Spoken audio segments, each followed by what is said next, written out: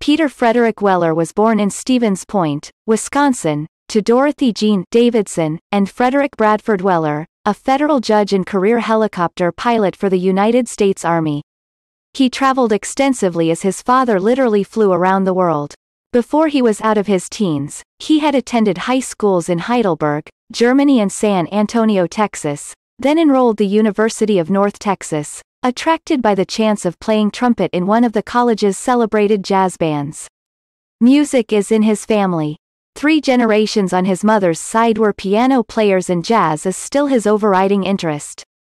Ask him who his favorite performer in any art form is and he will say Miles Davis. It was with a BA in theater and a scholarship to the American Academy of Dramatic Arts that he left Texas for New York. Two weeks after graduating, he made his first appearance on Broadway as David in Joseph Papp's New York Shakespeare Festival production of David Rabe's Sticks and Bones, a role he repeated on the London stage. While a student of legendary actress and drama coach, Uta Hagen, Weller appeared on and off Broadway in works like William Inge's Summer Brave, Thomas Babe's, Rebel Women, and Full Circle, one of the last plays directed by Otto Preminger.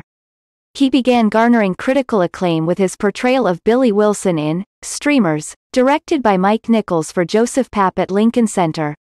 He continued that success with his performances as Cliff in The Wool Gatherer and as Nick in the first American production of David Mamet's The Woods. During this period, he became a member of the highly respected Actors Studio, under the aegis of Elia Kazan and Lee Strasberg. Weller's film debut was in Richard Lester's Butch and Sundance, the Early Days 1979. He then co-starred with Alan King and Ali MacGraw in Sidney Lumet's Just Tell Me What You Want 1980, and, with Albert Finney and Diane Keaton, in Alan Parker's Shoot the Moon 1982.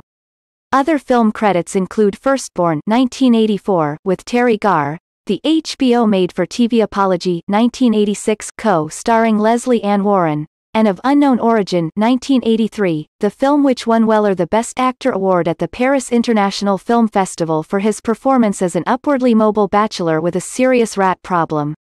That same film also marked his first association with Leviathan 1989, director George P. Cosmatos.